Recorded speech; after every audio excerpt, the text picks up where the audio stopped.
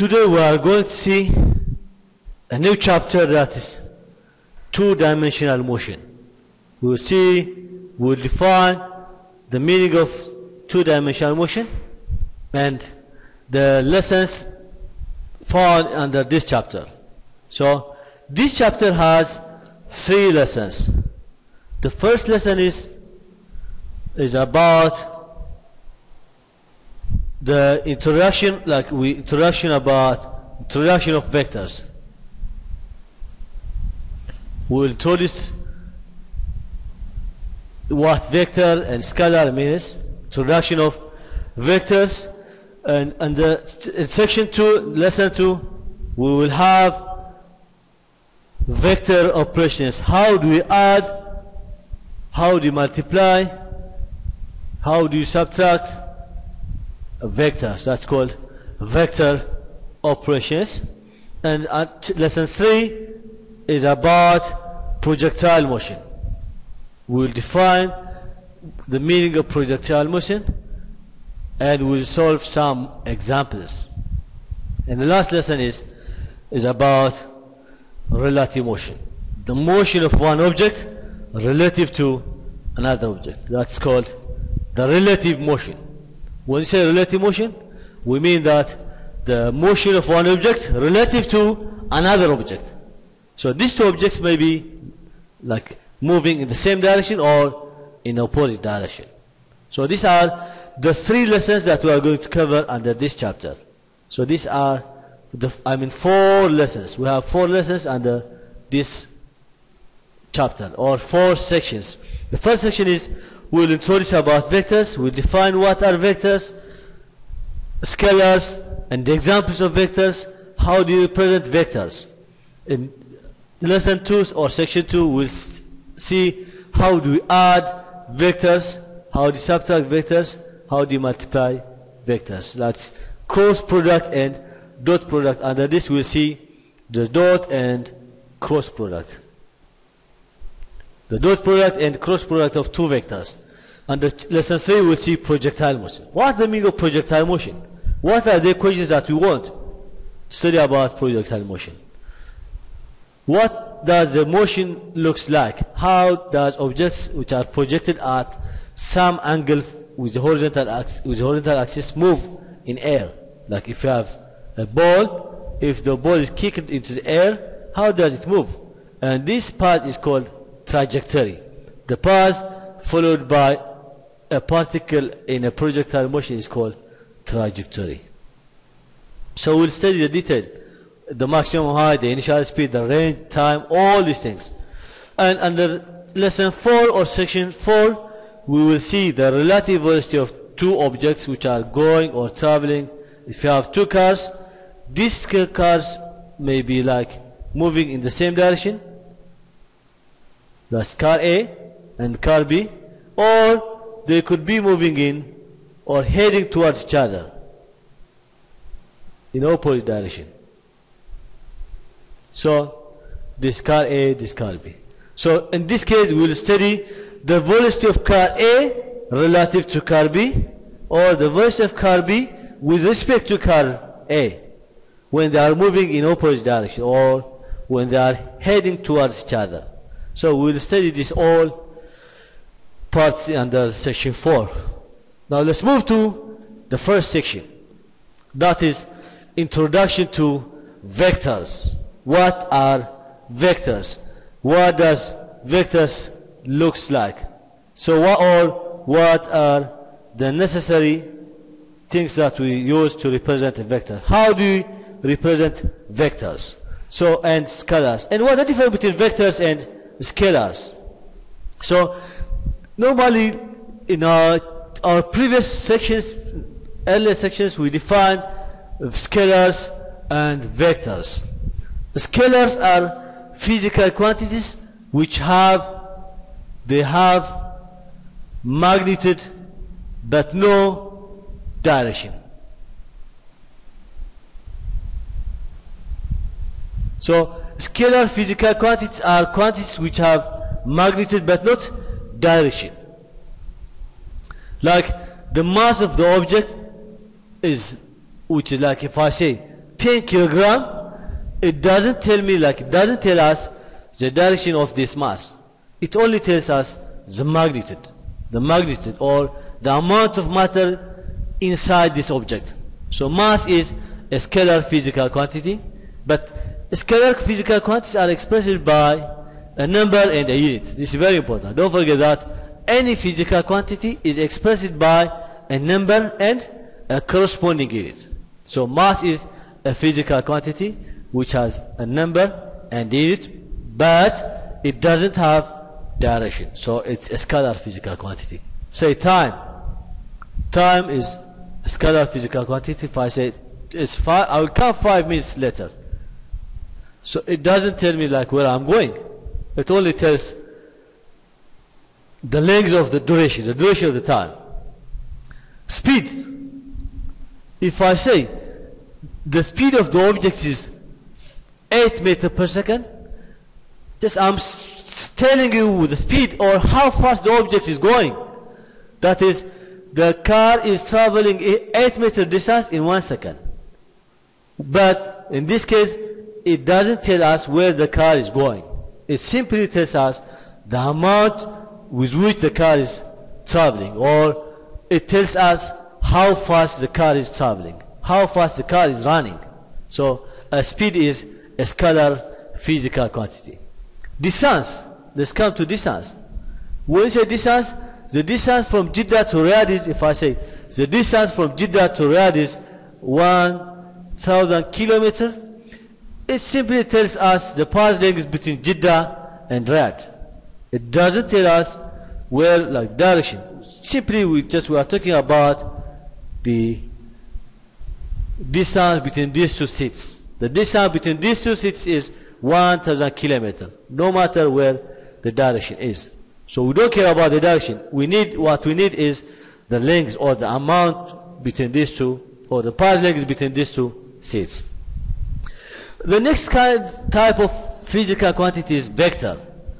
Vectors are physical quantities which have uh, vectors, they have both magnitude and direction. So in order to describe vector physical quantities, we have to use or we have to add, we need to have both magnitude and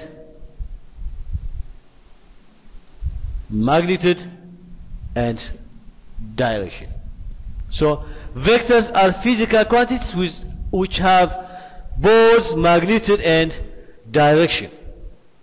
When we say magnitude, we mean number. When we say direction, where the car is going. The direction is like tells us where the car is going. Is it going in the east, in the west, north, or south? And examples of vector physical quantities are examples of vector physical quantities are velocity. Now, you students, you have to be very careful with the terms velocity and speed. When we say speed, we are just talking about the magnitude with which the car is traveling. But when we are talking about the velocity, we have to talk about the magnitude or how far the car is going plus where the car is going. That's the direction. So vector physical quantities are quantities which are expressed by a, a number, a magnitude, and direction. That's very important. So vectors are described by a magnitude plus direction. So vector physical quantities are quantities which have both magnitude and direction. Example, velocity, force, acceleration, torque, momentum, electric field, magnetic field, all these are vector physical quantities. And the other term that you have to know, you students you have to know is, what is the meaning of the resultant of two vectors? Resultant.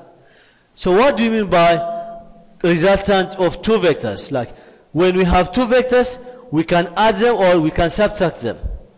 So, the resultant of the vector is the sum of two or more vectors. When you say resultant, the resultant of two vectors is defined as this is defined as this is a vector which belongs to the sum of when you say sum when you add the sum of two or more vectors is called resultant vector. A resultant vector is a single vector that belongs to the sum of two or more vectors. So two or more vectors can be added and that is called that sum is called the resultant vector. So when we say resultant vector we mean that the sum of two or more vectors. Uh, vectors can be represented by graphic graphically. We can represent vectors graphically. So or we can add vectors graphically. Like as I told you, when you say resultant vector, we mean that the sum of two vectors. When you have one vector, this is one vector, that's vector A. And the vectors are represented by a letter with arrow over its head. And if I have another vector B, that's B, B, they are, these two vectors uh, have the same direction. So the resultant vector which is R, R is the resultant vector. I can write this as the sum of vector A plus the sum of vector B. So resultant vector is a single vector that belongs to the sum of two or more vectors. In this case, these two vectors have the same direction so that I can add them. And the resultant vector will be a little bit longer. That is the sum of this is A and when you add B so we will get a longer vector that's the resultant vector. So the resultant vector is the sum of two or more vectors. And as I told you vectors are represented by a letter with arrow over its head. And this arrow shows direction the arrow shows us direction and the length of the arrow shows or tells us the magnitude of the vector. So vectors are represented by a letter with arrow over its head. And the arrow shows the direction of the vector physical quantity and the length of the arrow shows us or tells us the magnitude of the vector. Magnitude. So vectors can also be represented by graphic method. We can represent them graphically. For example, in this case, if I have vector A, if this is vector A, and B is, this is vector B, this is vector B. So the resultant vector of these two vectors can be obtained by or can be calculated by joining the tail of first vector to the head of the second vector. You draw a line joining from tail to head. This is the resultant vector R which is given by vector A plus vector B. That is called the resultant. This is called the tail and this is called head. So to find a resultant vector we draw a straight line from the tail to the head of the second vector. Or let me show you this vector. For example, a student works from his house, he's working from his house to his friend's house. That's, this is his house. This, the student is right here. He was here. This is his house. So, this student is going from his house to his friend's house. This is his friend's house. Then, like he wants to go with his friend to school, then he first went to his friend's house, then from his friend's house, they are going to go to, they are going to, they will go to the school together. So he went to his friend's house, and from his friend's house, he is going to the school. So from A is his, his house, from his friend's house, school. So he is going from his house to his friend's house, and from his friend's house to the school.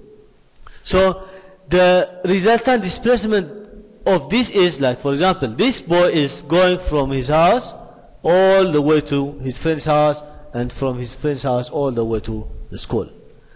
But he can go, this one can go directly from his house to school by using this or following this path. And this path is called the displacement. He can just he can go directly from his house to his friend's house directly following this path. So this path is called uh, like or this is called the resultant vector. The resultant vector of these two vectors. That's A and this other vector B. So a student works from his house to his friend's house, then from his friend's house to the school. The student's resultant vector displacement can be found using a ruler and protractor. That is resultant displacement. That's R. That's the resultant displacement. This is what? The resultant displacement. Or the shortest possible path. Displacement can also be defined as the shortest possible path. So vectors can be represented by graphic method or vector addition can be represented by the graphic method. This is the resultant vector which is given by the sum of A, vector A plus vector B. Now let me show you graphic like short notes on vectors and scalars. How do what do they look like? So like as I told you, vector physical quantities are quantities which have both magnitude and scalar, whereas scalar physical quantities are quantities which have only magnitude. For example, when you look at these two, this is one kilogram, the, the, or the temperature, look here, the temperature, this is 20 degrees centigrade.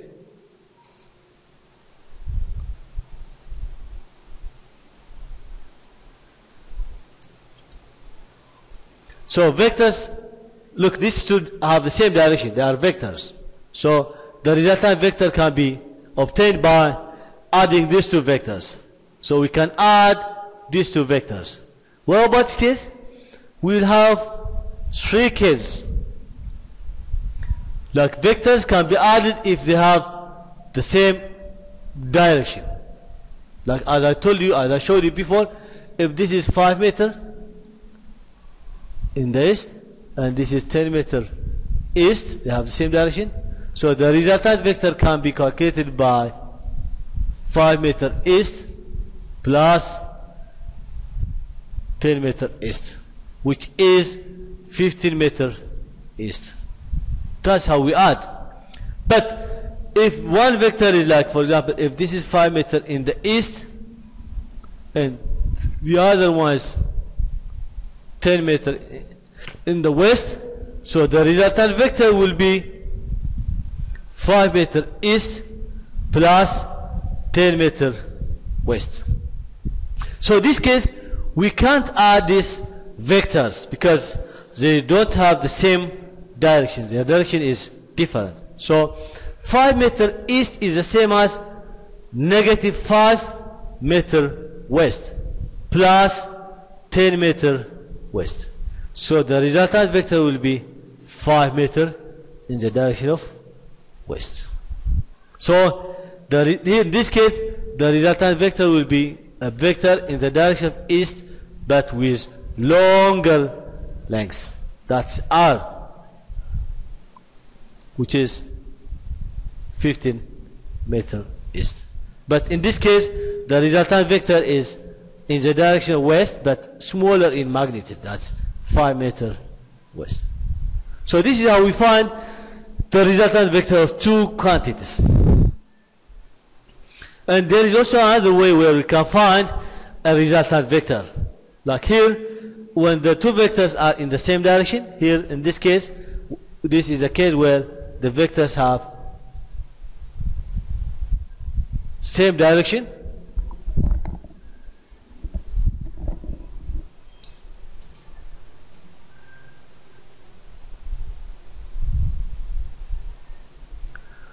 So here we have three cases. One, when the vectors we have three cases. One, One is, the first case is when the vectors have the same direction. This case, we add them. The, this case, when the vectors have the same direction, we add them. The second case, when the vectors have opposite direction, we take the difference, we subtract. But the third one is when the vectors are perpendicular. What do we do? If the vectors are at an angle of 90 degree. For example, this one vector and this is another vector. So how define the resultant vector of this? If this is vector A with A, small letter A, small letter B. So to find the resultant vector, we draw a line from the tail to head. This is the resultant vector. That's R. So to find the resultant vector, we use Pythagoras theorem. That is R square, R square. We use the Pythagoras theorem. That's R square is equal to A square plus B square. So take the square root of both sides. So the resultant vector R will be the square root of A square, the magnitude of A square plus the magnitude of B square under the square. So this is the third case where the two vectors are at right angle, when they form an angle of 90 degree.